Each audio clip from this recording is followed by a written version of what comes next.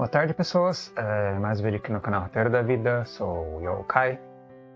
É, o vídeo de hoje é um FD, um debate da sessão de anime especial domingo, sessão de domingo de anime especial.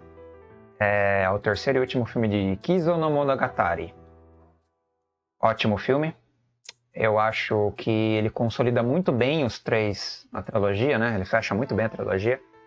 Eu acho ele melhor que o segundo, com certeza. Eu não sei, eu acho ele melhor que o primeiro também. É um filme muito bom, é um desfecho muito bom, uma conclusão muito coerente desse, desse arco específico de Monogatari e de arco de personagem.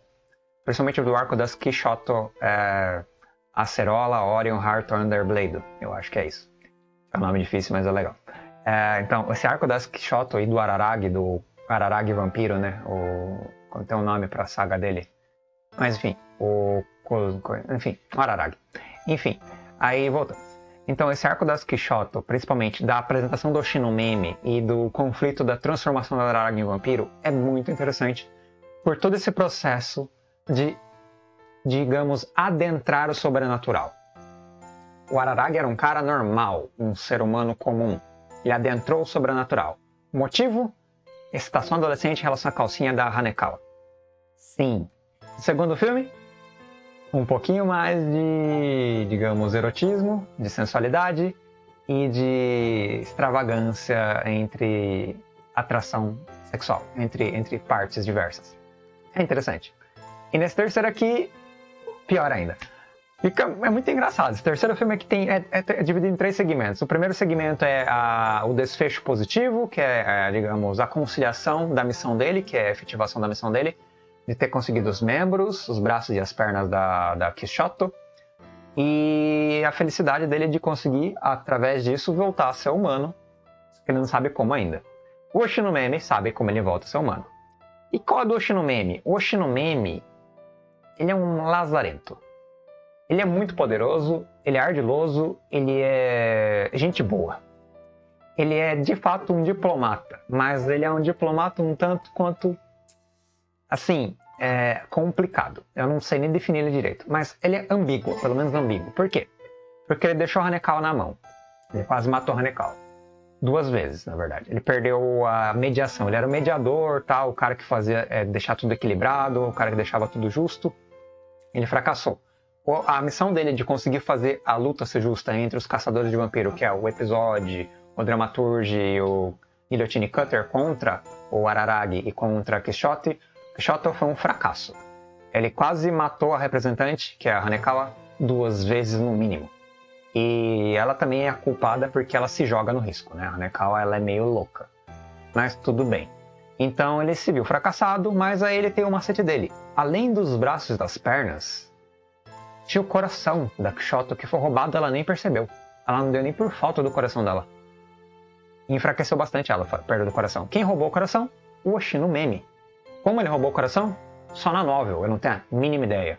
Eu sei que ele é ardiloso ao ponto de ser muito perigoso, só que ele não é uma pessoa ruim.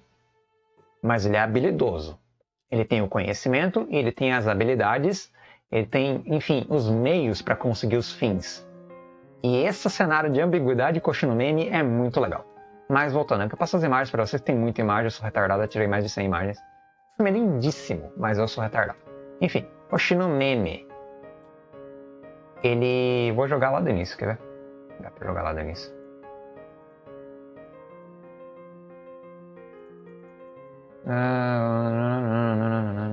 Perdão por ficar enrolando aqui. Vai demorar um pouco.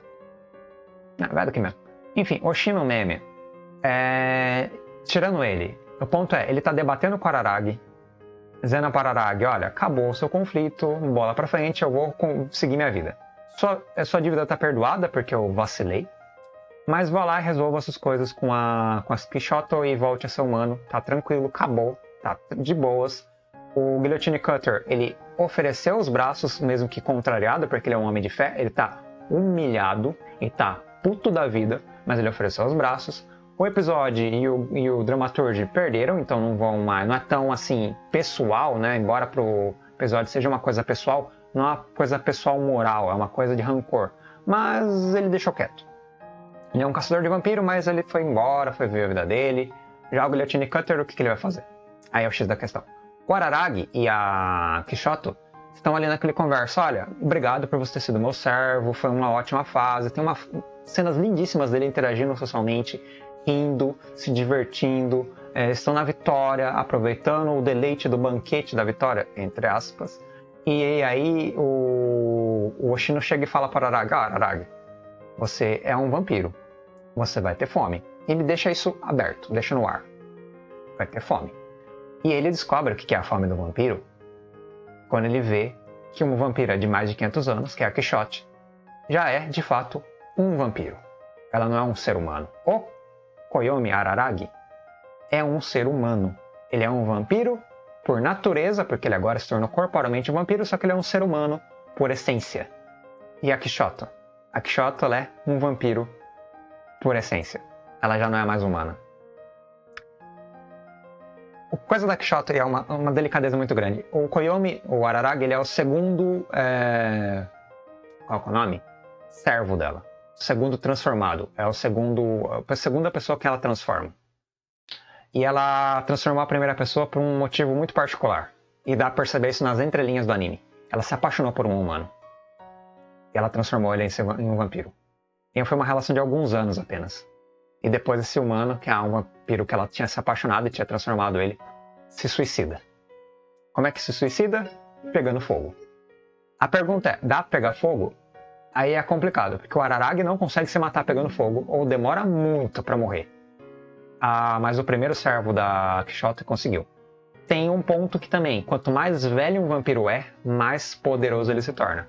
Na época ela vampirizou o primeiro servo, ela era muito nova como vampira. Tava, tinha uns 200, 100 anos de idade apenas. E tava viajando o mundo, aprendeu japonês no Japão. Tava se divertindo como uma vampira entediada, porque não tem o que fazer quando você é vampiro, você simplesmente é imortal. Você come e vive. Só. E nisso, ela ficou é, apaixonada, ao mesmo tempo que melancólica, ao mesmo tempo que depressiva, porque a vida dela é um estresse constante.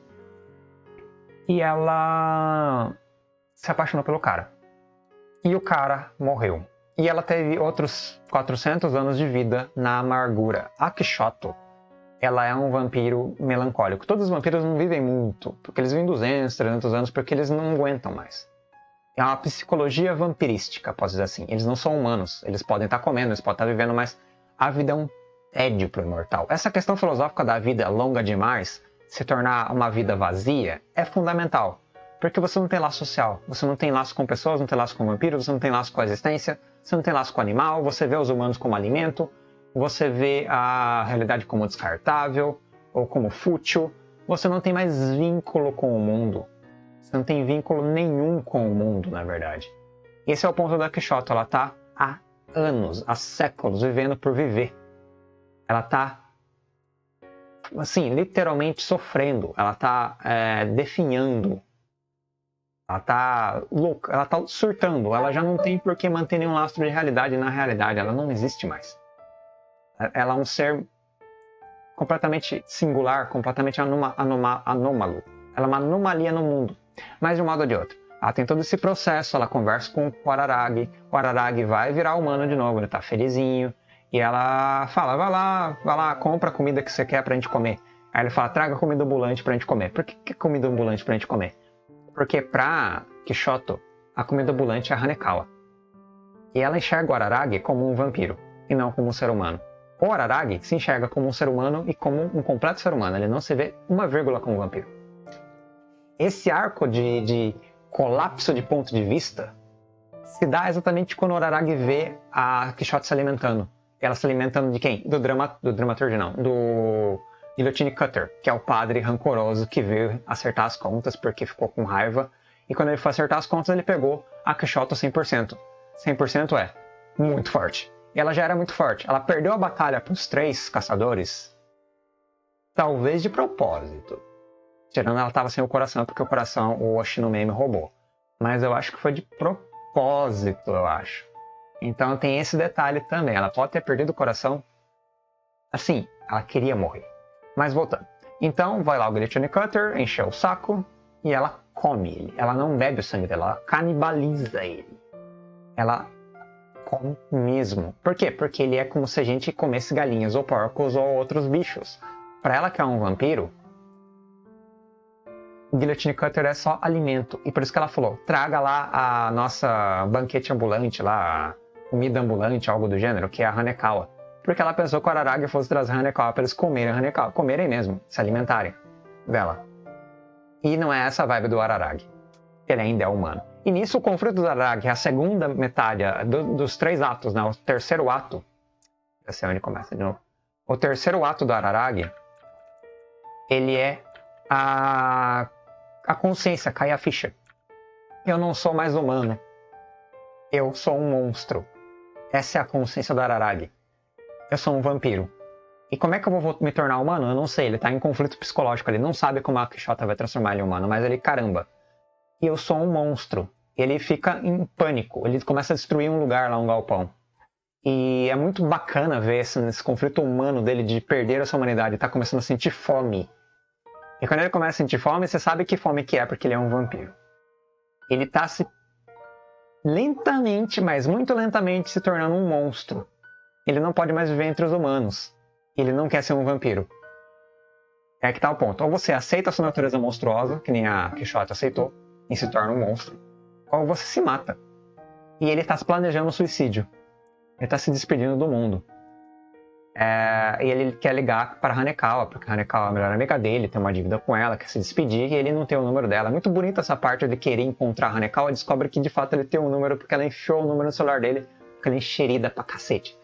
E ele consegue conversar com ela. E ele traz ela de volta para falar da situação dele. Olha, a Kishoto ela é um monstro, eu salvei um monstro, ela vai matar pessoas, ela acabou de matar o Guillotine Cutter, eu tô com um puta de um peso na consciência do Araragi desaba, porque ele viu um humano morrer por culpa dele.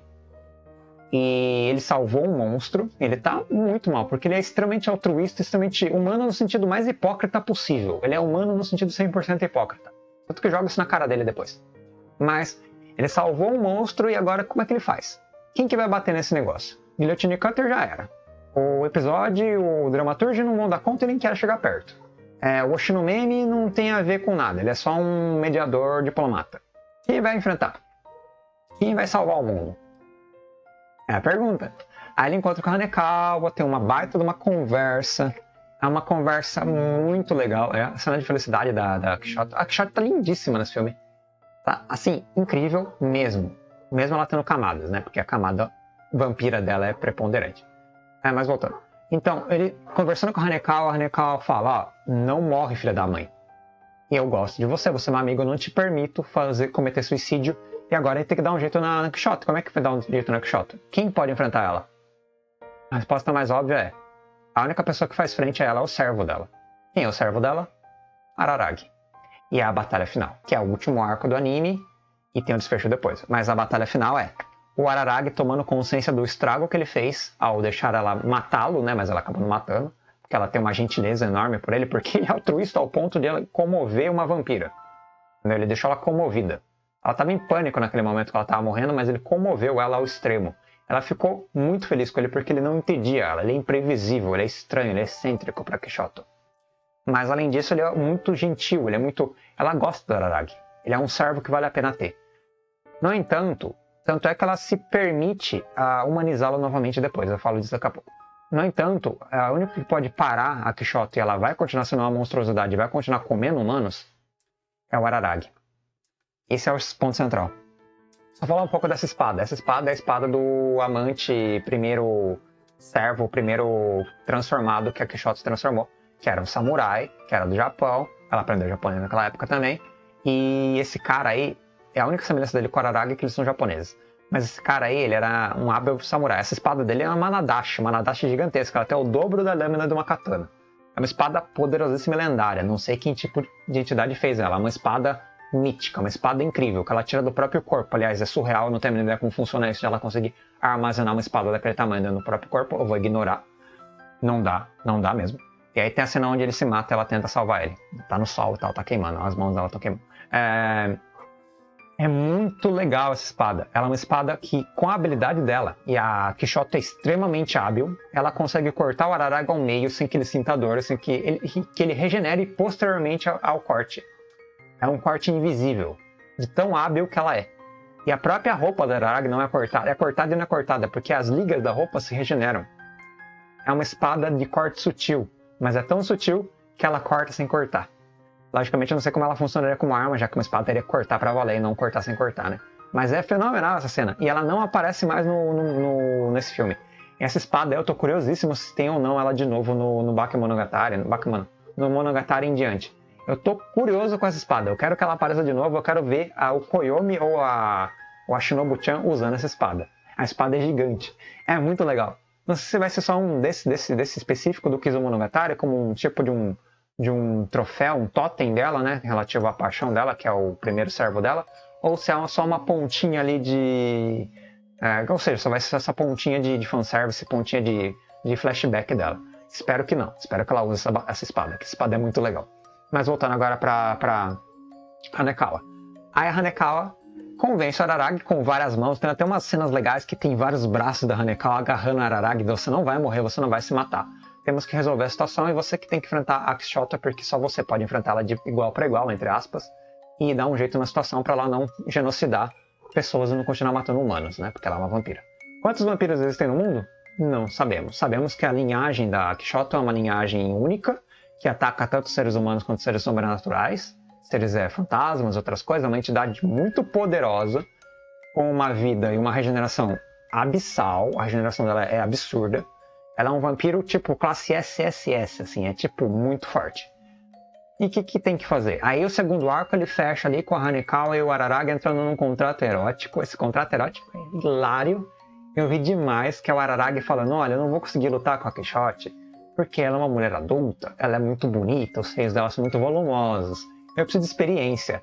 Hanekawa, por favor, me empreste os seus seios. É tipo, hilário. Hanekawa, olha, filha da puta. Aí ela pensa, diabos, o que, que eu vou fazer? E ela cede. Aí ela cede, cara. Ela fala, tudo bem. Ela tem toda uma cena de preparo para ela conseguir psicologicamente, emocionalmente ceder o contato com a Araragi pro, pro cara sediar ela sexualmente. E pior, ela se prepara para mais do que os seis. Como ela é uma pessoa muito. É... Ela também é uma adolescente, ela gosta da Araragi. Ela espera que tenha mais do que o toque do preparo do Araragi. Ela se prepara para ter a relação a primeira vez dela num galpão no meio do nada. Ela se prepara para perder a virgindade. O Araragi é uma cena dirigida muito, muito sensual. É muito bonito de ver ela sendo parcialmente assediada, o Araragi se esforçando para ser um para ser um crápula, se esforçando ao extremo para ser um hentai, um pervertido e não consegue, ele fracassa. O moralismo dele colapsa ele. Ele não consegue relar na, na Hanekawa. E a Hanekawa estava de despida, entre aspas, né? Ela tava, ela se abriu assim, tipo, ela permitiu, ela, ela a sua inocência ser roubada pelo Araragi e o Araragi dá para trás. Ela fica puta com a Araragi quando a Araragi dá pra trás. É humilhante. porque, porque ela não. Nossa, é muito humilhante. É uma, é uma cena muito bem bolada. É sim, etium, não tem como negar. Mas é genial, assim. É a melhor das três cenas rentais que teve nos três Kizumonogatari. Esse terceiro filme é sublime do, do utilizar o erotismo por uma maneira mais aplicada. Então é quando você está tentando fazer um negócio para fazer fanservice, mas faz um fanservice meio artístico, sabe? Então o negócio ele dá uma alavancada, ele dá uma, guinada de qualidade. E foi muito, é muito bonito o anime em geral, as, os closes, os, as cenas, a luminosidade, a direção, todo o, conflito do Araragi em todos os momentos, os jogos de câmera, jogos de paisagem, a ambientação, essa novela vaga, esse noir de Kizumonogatari é fenomenal. Mas nessa cena do galpão também é lindo como eles conseguem fazer, principalmente o diretor, consegue fazer essa, essa, essa fluxo, esse fluxo de relação entre os dois. E esse é o segundo ato do anime. E o terceiro ato do anime é nada mais nada menos do que o combate final do Araragi com Akishoto, que é, é gore, é sangue, é violência e é ele chegando para Akishoto falando, ó, oh, vou ter que impedir você porque você vai matar pessoas, é simples assim. E aí a Hanekawa lá, fica na plateia, porque ela quer ver o que vai acontecer. E o Araraga ele tem que literalmente matar a Quixote se ele quiser, que ela não mate mais seres humanos. E aí tá o macete que é o pulo do gato. Ele não sabe se ele vai virar ou não é, um outro um ser humano novamente. Ele só sabe que ele tem que matar a Quixote ou impedi-la de consumir humanos para que não dê problema. Só que para ele impedir de consumir, que ela consumir humanos, ele tem que neutralizá-la. E como é que se neutraliza um bicho imortal? É que tá o ponto. Não dá. Como é que o Araragi faz? ele se esforça. Ele não tem a mínima ideia, ele simplesmente se joga no campo de batalha. E o campo de batalha é tentativa e erro. E a tentativa e erro dele, eu vou passar aqui as imagens na mão, tá? A tentativa e erro dele é lutar desesperadamente. E a luta desesperada, eu não vou passar as imagens gore do anime, porque eu nem passei a do Guillotine Cutter nem nada. É a cena dele. A cena do assédio é terrível. Terrível. Mas é muito boa. Muito boa. ele humilhado, porque ela humilhada e ele pedindo desculpas. É hilário. Mas voltando. Eles fazem amizade, o pacto deles de, de colegial, né? Vamos voltar no outono, nós dois juntos, pra vida de colegial, então você tem que sobreviver Araragi, então vai enfrentar Quixote desgraçado. E ele vai. Nossa, a luta dele com a Quixote é tipo, é, é fenomenal, assim, é, é, a direção de seres imortais e indestrutíveis lutando. Logicamente não tem muito et, porque as roupas da Quixote deveriam ter sido aniquiladas, iguais as do Araragi foram. Mas sem essa putaria de ficar sexualizando mais ainda do que já é sexualizado o corpo da coitada. Em todo o progresso dela, de, de, de maturação dela, de quando ela foi crescendo, conforme interagia com a Araragi, né? Ganhando os braços e as pernas. E o desfecho, vamos lutar, meu servo, vamos lutar. Vamos ver quem consegue é, evitar o destino inevitável, né? A lei da causalidade da, da, de ver os humanos como simples comida. Ela fala isso. Eu vejo os humanos como simplesmente comida. E ela é um monstro. Ela é um ser sobrenatural. E é muito legal a direção dessa batalha. É fenomenal.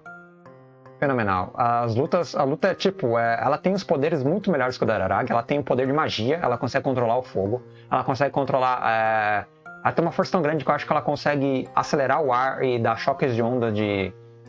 Choques de. Como é que é o nome? Ondas de choque. Ondas de choque que consegue até destruir o corpo dele. Fora os poderes vampíricos dela, que são inúmeros, a gente não sabe. Ela consegue ser morcego, tem asas, ela consegue controlar o fogo, ela consegue. O que é estranho para um vampiro controlar o fogo, é uma cena do fogo, é fenomenal.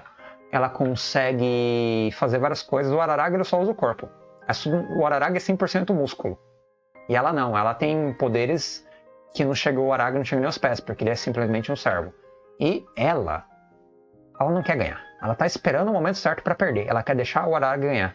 Ela vai batendo nele aqui e ali, controlando a luta. Você vê que ela tá na vantagem o tempo inteiro. O Ararag não daria nem pro pau.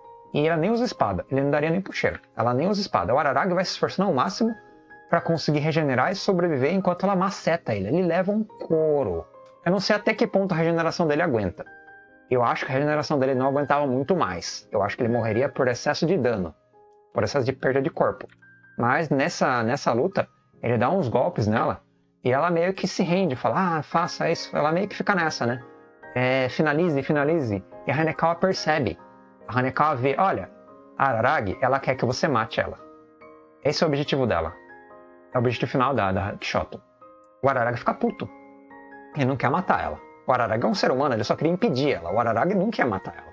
Ele só queria convencer ela na base da porrada para ela não matar mais ninguém. O que é impossível, assim, é bem ridículo o que ele quer. Mas para ela não ser um monstro. E era isso, era uma luta de, de, de, sei lá, um conflito besta de ego, um conflito besta de objetivos. Mas não tem uma finalização grandiosa, porque não tem como finalizar. Não tem como ele matar a Quixote, porque ele não quer matar a Quixote. E a Hanekawa vai falar bosta lá, ela vai falar, olha, eu sei qual é o plano dela. E o Araragi não sacou. Mas ela quase morre, Hanekawa, né? A, a Quixote, ela vai matar a Hanekawa, ela ia matar o Hanekawa. Ela ia explodir, só que o Araragi entra na frente. É ele que explode. Mas o plano da Quixote era morrer. Era o Araragi conseguir arrancar o coração dela, se ela fazer alguma coisa, algum dano muito, um dano muito excedente para conseguir matar. Qual o ponto fraco da, da? O ponto fraco dela é exatamente esse aqui. Esse é o ponto fraco dela. É ser sugada. O sangue ser sugado. É assim que se mata um vampiro. Você suga o poder dele. Você não. O vampiro do nível dela, né? Que não tem uma regeneração absurda. É, você tem que sugar. Você tem que sugar a vitalidade. Você tem que aniquilar ela através da, da do consumo da força dela. O Araragi consome 50% aqui. 50%. Ela fica assim, me mata logo. Termina o serviço, termina isso. Eu quero repousar em paz, eu quero cansei, eu tô puta já, eu tô cansada, eu não tô depressiva, melancólica, ela não quer mais viver.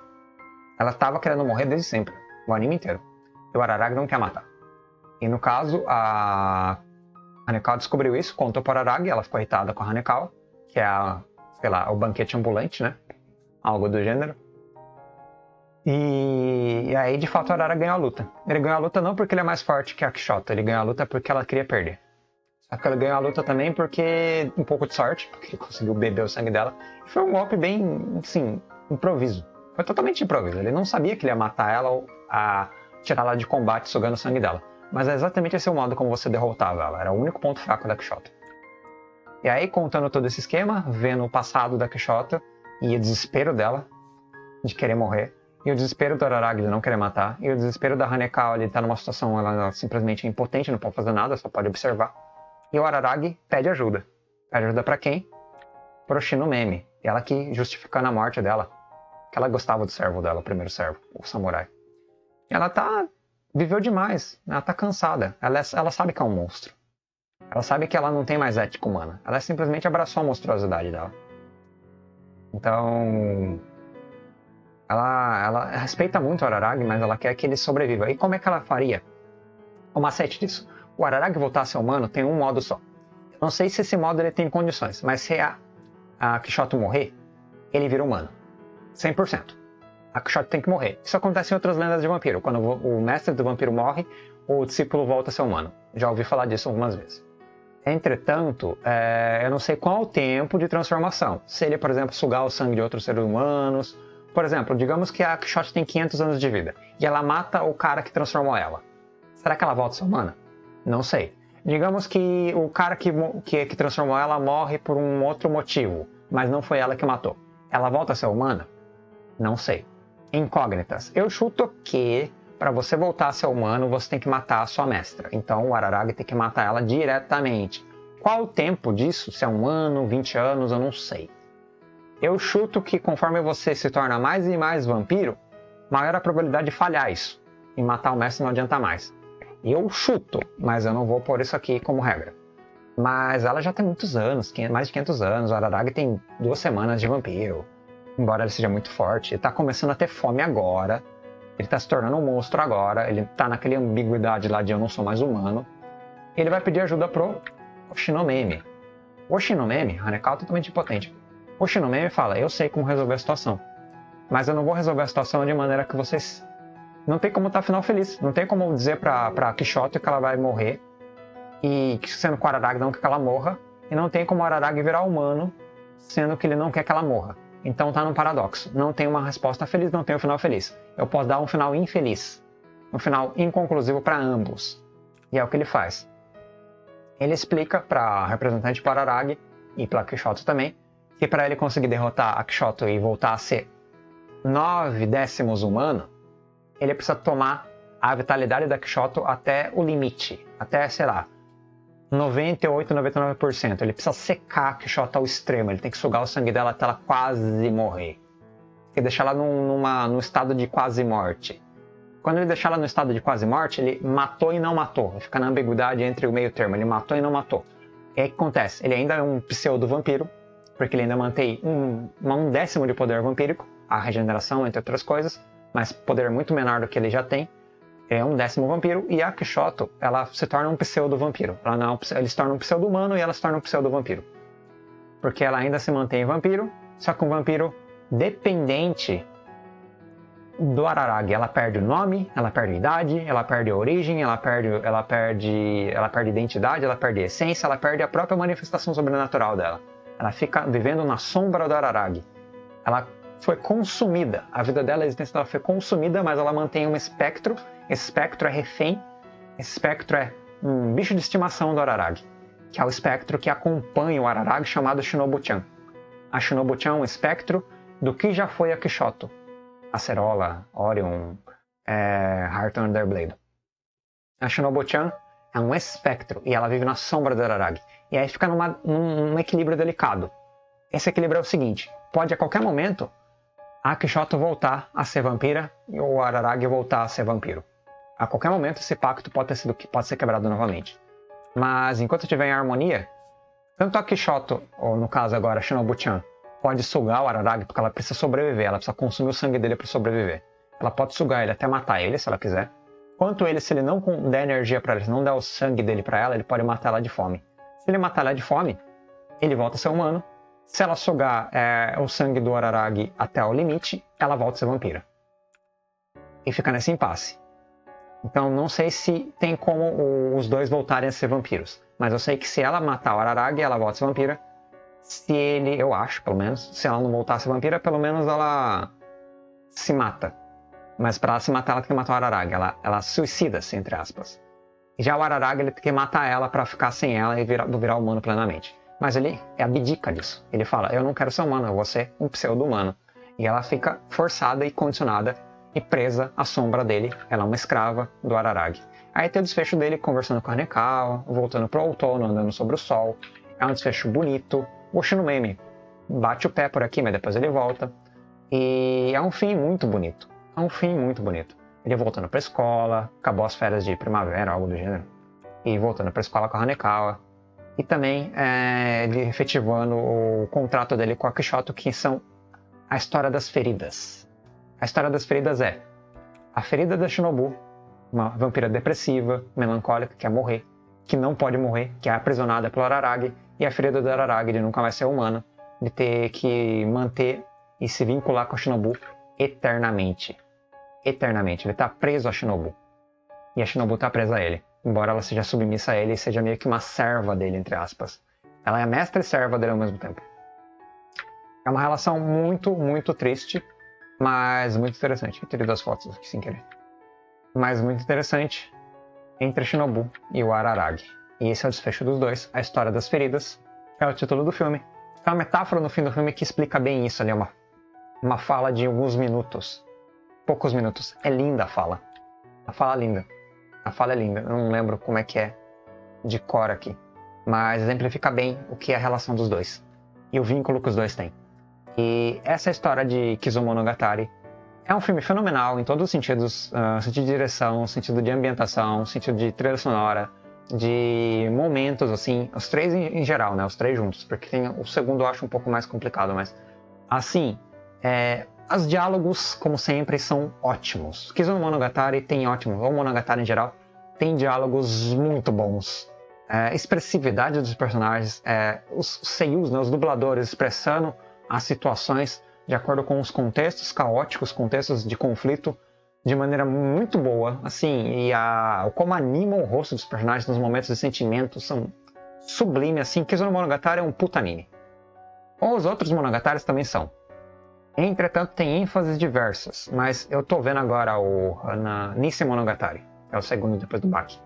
É equivalente ao Baki, com outro ângulo, um pouco menos dramático, na verdade, é mais seco o Nise Monogatari. Monogatari é. O drama dele é um drama pastelão, não um drama forte, não é um drama, digamos, é, posso dizer, líquido. Ele é um drama mais é, sarcástico, não é um drama melancólico, é um drama seco. É, não é um drama líquido, é um drama seco, entendeu? Pode ser essa metáfora. Mas ele é de boas, é um drama muito bem construído. E todos os conflitos do Araragi, embora seja extravagante, é exagerado, é, é um exagerado que funciona, porque é uma situação desesperadora mesmo. E o Araragi está passando por isso.